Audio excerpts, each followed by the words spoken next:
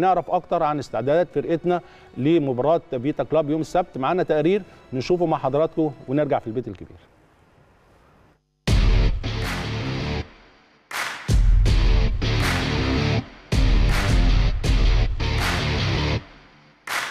يسعى الفريق الأول لكرة القدم بالنادي الأهلي لتحقيق الفوز على نظيره فيتا كلوب الكونغولي في المواجهة المرتقبة والصعبة بين الفريقين على استاد القاهرة الدولي في التاسعة من مساء السبت المقبل بمنافسات الجولة الثالثة بالمجموعة الأولى بدور المجموعات ببطولة دوري أبطال إفريقيا. ويأمل الجهاز الفني واللاعبون أن يكون اللقاء انطلاقة قوية لكي يعود لمكانته المعروفة عنه في جدول الترتيب ويحافظ على حظوظه في التأهل للدور المقبل كأول المجموعة في رحلة البحث عن لقب الأميرة السمراء. للمرة العاشرة في تاريخه. لا شك أن الأهلي هو الفريق الأنجح في قارة إفريقيا ليس فقط على الصعيد المحلي بل أيضا على الصعيد القاري وحتى العالمي، فقد ارتبط اسم النادي الأهلي بلقب الأكثر فوزا فهو البطل التاريخي لمسابقة الدوري الممتاز وبطولة كأس مصر وحتى السوبر المحلي،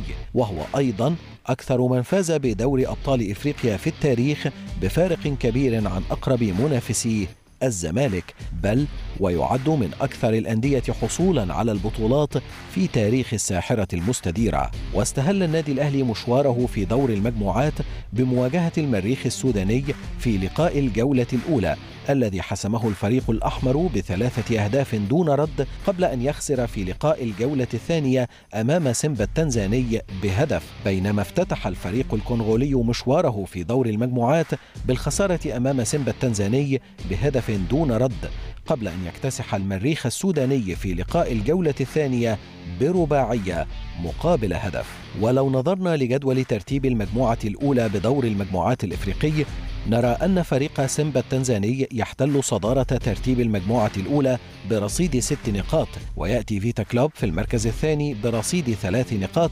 وبفارق الأهداف عن الأهلي والذي يحل في المركز الثالث برصيد ثلاث نقاط أيضا. بينما يقبع المريخ السوداني في قاع جدول ترتيب المجموعة في المركز الرابع بدون رصيد من النقاط. ويخوض النادي الأهلي مباراته الثالثة في تاريخ مواجهاته مع فريق فيتا كلوب الكونغولي قبل موقعة السبت المقبل حيث التقى الفريقان في مباراتين قبل ذلك وبالتحديد في دور المجموعات ببطولة دوري أبطال إفريقيا عام 2019 حيث فاز النادي الأهلي بالقاهرة بهدفين دون رد في بداية شهر يناير من عام 2019 على استاد برج العرب حملوا توقيع ناصر ماهر وعلي معلول.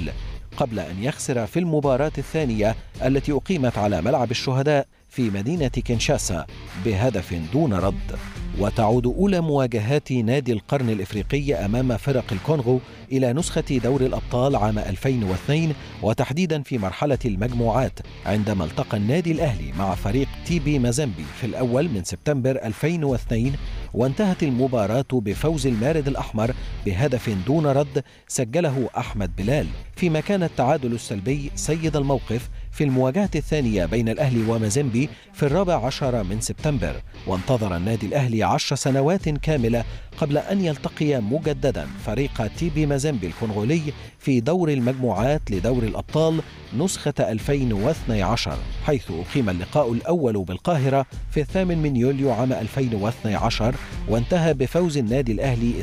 2-1 وسجل هدف الأهلي الأول عماد متعب وأضاف محمد ناجي جدو هدف الأهلي الثاني. وفي الثاني من سبتمبر التقى الأهلي مع مازيمبي في إطار الجولة الخامسة وانتهت المباراة بخسارة الأهلي بنتيجة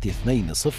وبهذا يكون النادي الأهلي قد التقى فرق الكونغو في ست مواجهات حقق الفوز في ثلاث مباريات وكان التعادل حاضرا في مباراة وخسر الأهلي في مواجهتين. سجل خط هجوم الأهلي خلال تلك المواجهات خمسة أهداف واستقبلت شباكه أربعة أهداف.